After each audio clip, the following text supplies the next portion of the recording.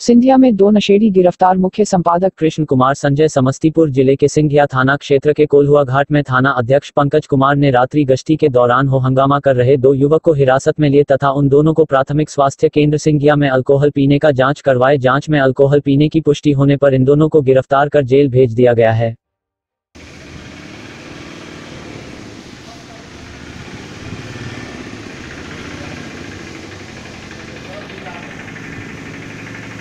¿Qué es lo que se llama? ¿Qué lo que se llama? ¿Qué lo que se llama? ¿Qué